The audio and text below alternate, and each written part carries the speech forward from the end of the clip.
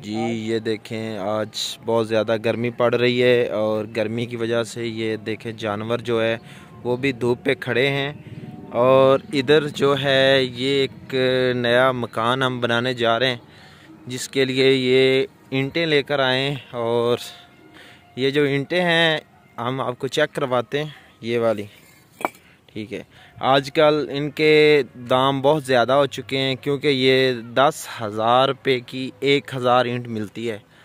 तो आपको बताने का मकसद ये था कि दिन ब दिन जो महँगाई है, वो बहुत ज़्यादा होती जा रही है और हालात मुश्किल से मुश्किल होते जा रहे हैं।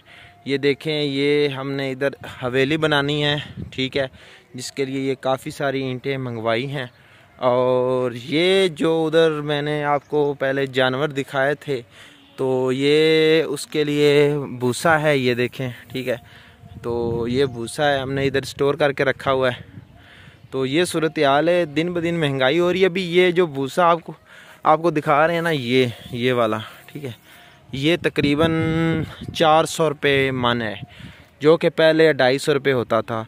तो यानी कि जो महँगाई का रेशो इतना ज़्यादा हो चुका है। तो ये सूरत हाल है, ये ईंटें हैं, इधर इन हम बहुत बड़ी हवेली तैयार करेंगे, ठीक है। इधर ट्रैक्टरों के गैराज वगैरह बनाने, ठीक है। तो ये सूरत हाल है। उम्मीद है आपको आज का ब्लाग बहुत ही अच्छा लगा होगा, अगर अच्छा लगा है तो लाइक कर दीजिए। अल्लाह हाफिज़।